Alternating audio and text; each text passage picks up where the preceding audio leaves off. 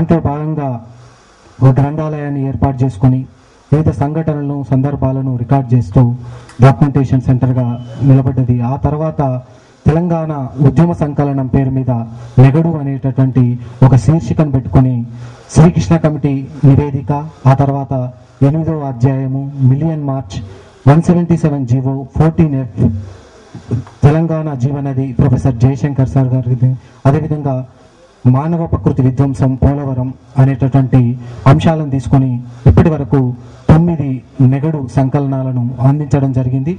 అదే క్రమంలో త్వరలో తెలంగాణ ఉద్యమంలో బలిదానాలు పోలవరంలో నిర్వాసితులవుతున్నటువంటి సందర్భించినటువంటి సంకలనాలను కూడా తెలంగాణ రిసోర్స్ సెంటర్ త్వరలో తీసుకురావడం జరుగుతుంది. అదేవిధంగా ప్రజల కోసం పనిచేసినటువంటి ప్రజల కోసం జీవించినటువంటి మనుషులను సంబంధించినటువంటి వ్యాసాలను కూడా మనిషి అనేటటువంటి ఒక శీర్షిక ద్వారా మొదటగా జానపద గోపురం గోపు లింగారెడ్డి గారి గురించి ఆ తర్వాత హక్కుల గొంతుక ప్రజా గొంతుక ప్రొఫెసర్ బుర్రా రాములు గారి గురించి తర్వాత ప్రజల మనిషి కేజీ రన్నా కన్నాభిరామ్ గారి గురించి సంబంధించినటువంటి వ్యాస సంకలనాలను తీసుకురావడం జరిగింది. అదేవిధంగా త్వరలో శంకరన్ గారికి సంబంధించి మన సాహితీ శిఖరం స్వాముల సదాశివ గారికి సంబంధించి చిత్రకారుడు ప్రముఖ చిత్రకారుడు కాపు రాజయ్య గారికి సంబంధించి కూడా త్వరలో పుస్తకాలను తీసుకురావడానికి తెలంగాణ రిసోర్స్ సెంటర్ పనిచేస్తుంది. అదేవిధంగా వారం వారం ప్రతి శనివారం సాయంత్రం ఒక్కొక్క అంశాన్ని తీసుకొని చర్చా వేదికలను నిర్వహిస్తూ కూడా ఒక అంశానికి సంబంధించినటువంటి పూర్తి విశ్లేషణ కూడినటువంటి చర్చలను చేస్తూ వాటిని కూడా డాక్యుమెంట్ చేస్తూ తెలంగాణ సమాజం అందుబాటులో ఉంచేటటువంటి ప్రయత్నం తెలంగాణ రిసోర్స్ సెంటర్ చేస్తుంది. ఈ క్రమంలో ఇవన్నీ చేస్తున్నటువంటి క్రమంలో ఇంకా మన సమాజానికి ఏ లేనటువంటి ఏ పార్టీతో కానీ ఏ సంఘాలతో కానీ ఉండకుండా వాటితో ఆ అభిప్రాయాలతో ఉండకుండా ప్రజల పక్షాన నిలిచి ప్రజల పక్షాన పనిచేసేటటువంటి ఒక మ్యాగజైన్ ఉండేటటువంటి అవసరం ఉంది ఒక మాసపత్రిక దేవాలనేటటువంటి అవసరం ఉంది అనేటటువంటిది మా చైర్మన్ వేదకుమార్ గారు ఎన్నో రోజులుగా అనుకుంటున్నటువంటి ఆలోచనను ముందు పెట్టుకొని ఈ తెలంగాణ రిసోర్స్ సెంటర్ అనే ఓ దక్కన్ ల్యాండ్ అనేటటువంటి మాసపత్రికను తీసుకురావడం జరిగింది. తీసుకురద్దామనే ఆలోచనలో ఉన్నప్పుడు వివిధ రకాల మిత్రులు స్నేహితులు సార్తో కలిసి మాతో కలిసి ఇటు చాలా కష్టమైన పని. గతంలో చాలామంది ఇలా ఇట్లా తీసి వ్యయ ప్రయాసాలు గురై మళ్ళీ వాటిని ఆపు జరిగింది అనేటటువంటి చెప్పడం కూడా జరిగింది. కానీ అదే క్రమంలో చాలామంది మిత్రులు మరికొంతమంది మిత్రులు కూడా తెలంగాణ రిసోర్స్ సెంటర్ వేదిక కావాలి.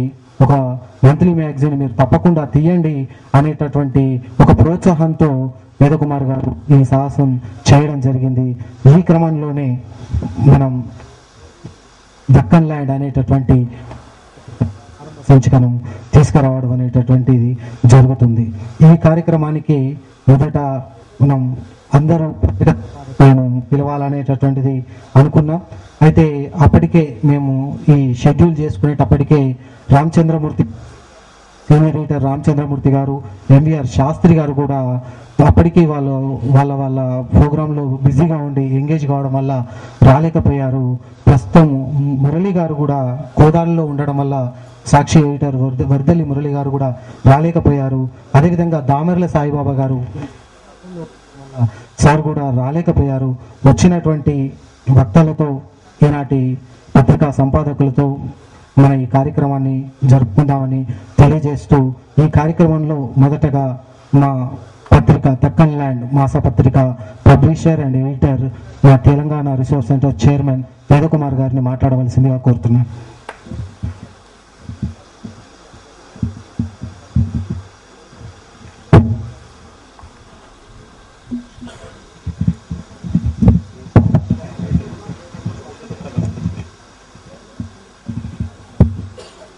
సోమేష్ గారికి కృతజ్ఞతలు తెలుపుతూ తెలంగాణ రిసోర్స్ సెంటర్ ప్రారంభమైన నాటి నుంచి ఆశయాలు కూడా వాటి గురించి సోమేష్ గారు తెలపడం జరిగింది. అదే క్రమంలో తెలంగాణ రిసోర్స్ సెంటర్ చిన్నగా ప్రారంభమైన ఈ పుస్తకాలే కానీ అంటే ఆడియో విజువల్ ఇన్ ప్రింట్ ఫామ్లో వీళ్ళంత వరకు కూడా డాక్యుమెంటేషన్ మొత్తం కూడా సమకూర్చుకొని మొత్తం ఎవరికైనా రీసెర్చ్ స్కాలర్స్కి కానీ ఎవరికైనా చరిత్ర సంస్కృతి వనరులు అంటే socio cultural economical political environmental issues మీద ముఖ్యంగా ఈ రిసోర్స్ సెంటర్ సమకూర్చుకొని అందుబాటులో ఉండడానికి ప్రయత్నం చేస్తుంది. ఇది వన్ ఆఫ్ ద ఆర్గనైజేషన్ ఆ క్రమంలో సోమేష్ గారు చెప్పినట్టు మనకు ఏవైతే చర్చా కార్యక్రమం ఒకటి ప్రారంభం చేసినాం ఉద్యమ సంకలనం ఒకటి ప్రారంభం చేసినాం ఒక మంచి మనిషి ఆ శీర్షిక శీర్షిక కూడా ఒకటి స్టార్ట్ చేశాం. అదే పబ్లికేషన్ క్రమంలో ఒక పత్రిక ఖచ్చితంగా ఒక పత్రిక తేవాలని అంటే మన స్తోమత తగ్గట్టుగానే రావాలని. అంటే దినపత్రిక అయినా వారపత్రిక అయినా మాసపత్రిక అయినా త్రైమాసిక అయినా వాటికి ఒక ఫాము షేపు రిక్వైర్మెంటు వనరులు ఆసక్తి ఇవన్నీ ఆధారపడి ఉంటాయి కాబట్టి తెలంగాణ రిసోర్స్ సెంటర్ ఒక మాసపత్రిక తేవాలనే ప్రయత్నం క్రమంలోనే ఈ దక్కన్ ల్యాండ్ తేవడం గురించి ముందుకెళ్ళాం. ఇవల్ల ఈ లాంచింగ్ సభకు మేము ఆహ్వానించినందుకు ఒప్పుకున్న ఆంధ్రజ్యోతి ఎడిటర్ అయిన కె శ్రీనివాస్ గారు మరియు నమస్తే తెలంగాణ ఎడిటర్ అయిన అల్లం నారాయణ గారు హ్యాన్స్ ప్రెసిడెంట్ ఎడిటర్ అయిన తంకసాల అశోక్ గారు విశాలాంధ్ర ఎడిటర్ అయిన శ్రీనివాస్ రెడ్డి గారు ప్రజాశక్తి యొక్క ఎడిటర్ అయిన వినయ్ కుమార్ గారు. వీరు ఒప్పుకోవడం వీరితో పాటు కూడా పర్దెల్లి మురళి సాయిబాబా గారు కూడా ఇవాళ వచ్చేది ఉండే వారిద్దరు కూడా ఒకరు సాయిబాబా గారు కర్నూలు వెళ్ళారు. మురళి గారు రాత్రి ఆయన కోదాడు కొద్దిగా ఎమర్జెన్సీలో వెళ్ళడం జరిగింది. ఆ రకంగా ఇవాళ రాలేకపోయినారు. రామచంద్రమూర్తి గారు ఎంవిఆర్ శాస్త్రి గారు కూడా మేము అడిగే లోగానే వాళ్ళకి వేరే ప్రేయర్ ఎంగేజ్మెంట్ ఉందని చెప్పారు. అయితే ఇవాళ లాంచింగ్ గురించి చాలా కొద్దిగా ఈ పెద్ద ఎక్సర్సైజ్ చేశాం. అసలు నేను నార్మల్గా లాంచింగ్ ఇంతవరకు తొమ్మిది ఉద్యమ సంకలనాలు తెచ్చిన దీన్ని లాంచింగ్ పెట్టుకోలేదు. ఏ పత్రికకు పుస్తకావిష్కరణ ఇంతవరకు నిన్న నేను చేయలేదు. ఈవెన్ మనిషి శీర్షిక కూడా చేయలేదు. ఇది కూడా నేను ఇన్ఫార్మల్గా ఎందుకంటే ఇది ఒక పెద్ద ప్రాజెక్ట్ కాదు. ఇవాళ వస్తున్న దినపత్రికలే కానీ వారపత్రికలు కానీ చాలా పెద్ద ఎత్తున కార్పొరేట్ లెవెల్లో పెద్ద హై బడ్జెట్తో లక్షల సర్కులేషన్తో వస్తున్న దాంట్లో మన రిసోర్స్ సెంటర్ తలపెట్టిన మాసపత్రిక ఒక చిన్న పత్రిక. చిన్న పత్రిక ఏదైతే చిన్న చిన్న గ్యాపులు ఉన్నా కానీ ఈ మేము అసోసియేట్ అయిన గ్రూప్ ఆలోచనల్ని కూడా ముందుకు తీసుకెళ్ళడానికి వీళ్ళు ఎందులో చోటు చేసుకొని కూడా తీసుకెళ్ళడానికి ఎవరైతే ఎటువంటి కోరుకుంటున్నారో మేము మేము ఎవరితో సంబంధం ఉందో వాళ్ళ ఆలోచనలు అందించాలన్న ఆలోచనలు ఒక వేదికగా ఏర్పాటు చేసి ఎరిసో రిసోర్స్ సెంటర్ తరఫున ఒక పత్రిక తెచ్చి చిన్న ఒక ఎక్స్పెరిమెంటల్గా ఒక చిన్నగా ప్రారంభం చేసి చిన్నగానే అవసర రీత్యా అది ఎదగాలనే ఆలోచనతోనే ఒక ఈ పత్రికకు సాహసించినాం.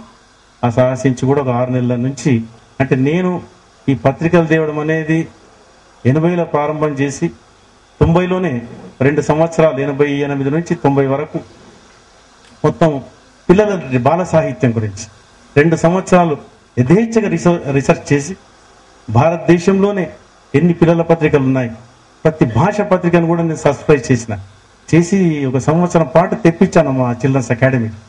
వాటిని అన్నిటి కూడా షేపు ఫాము వాటి టెక్స్చరు వాళ్ళ ఇల్లస్ట్రేషన్స్ వాళ్ళ ఫోటోగ్రాఫ్స్ వాళ్ళ కావాల్సిన వాళ్ళు ఏ రకంగా తెస్తున్నారో వాళ్ళ నుంచి కూడా సేకరించడం జరిగింది. ఎన్నో వర్క్షాప్స్ చేయడం బాల సాహిత్యంలో ఉన్న అందరి రచయితలతో ఇంటరాక్షన్ అయినాం. ఒక తెలంగాణనే కాకుండా ఒరిస్సానే కానీ వెస్ట్ బెంగాల్నే కానీ కర్ణాటకలనే కానీ ఢిల్లీలో ఉన్న వాళ్ళతో కూడా మేము సంప్రదించి వాళ్ళందరితో మాట్లాడి ఒక సమగ్రంగా చేసి